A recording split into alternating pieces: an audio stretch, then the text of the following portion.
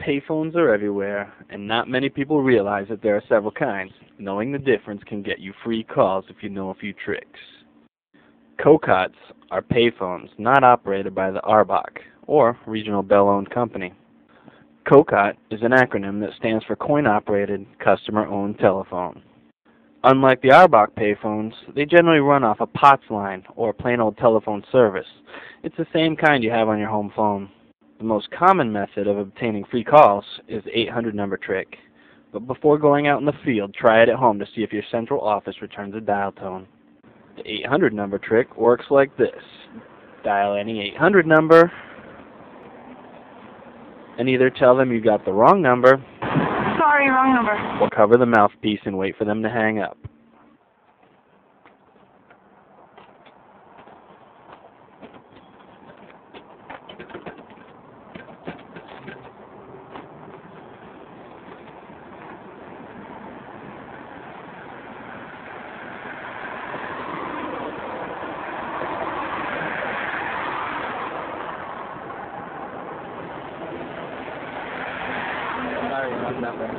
When they do, stay on the line and be prepared to dial the first digit of the phone number you want to call.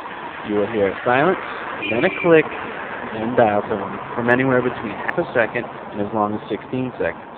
All you need to do is get that first digit in, then dial the rest of your number at a leisurely pace. Some COCOTs will have security software that detects the dial tone. It'll disable the keypad and disconnect the line. To prevent this from happening, use the blowing technique.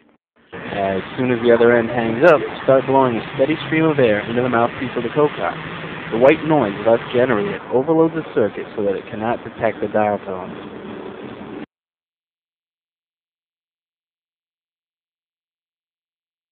Some COCOTs will totally disable the keypad, and in those instances you'll have to use a pocket phone dialer. In rare instances, the COCOT will not accept one digit followed by anything other than a zero, or it won't allow you to make local calls. To get around this, use 10x codes. They're called 10x codes because of their 10 XXX format.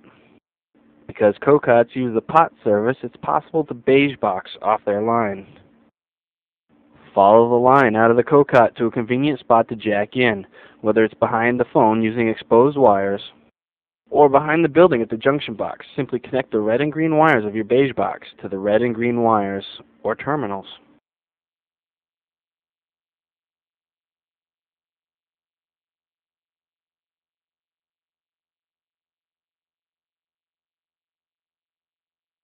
More than just making free phone calls, you can hold the mute button down and listen in on other people's conversations, either to collect calling card or credit card numbers or just for fun.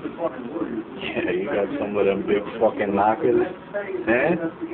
You mind if I fucking punch them around? Like I'm in a fucking gym? One of the, you know, one of them sandbag fucking things? Yeah.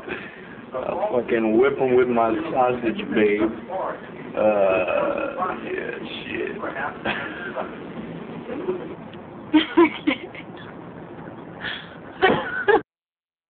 For calls that are going to last a while, beige boxing can look suspicious. After starting the call with your beige box, simply short out the line using a 470 ohm resistor. Then, run around the COCOT and pick up the handset.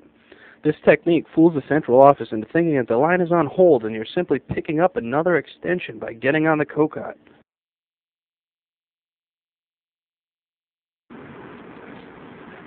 Different COCOTs will do different things.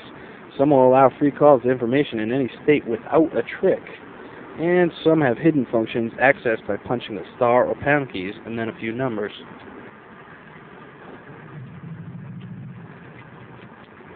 The best way to get more information on COCOTs in your area is to go straight to the owners. To figure out who owns a COCOT, just look at the payphone itself. When you find their building, hit the dumpster for a treasure trove of information. For instance, at Payphone Inc., which runs some of the shittiest COCOTs I've ever seen and dominates the COCOT business in Rhode Island, we found a printout with the locations and phone numbers for all of their COCOTs, as well as billing statements from the phone company.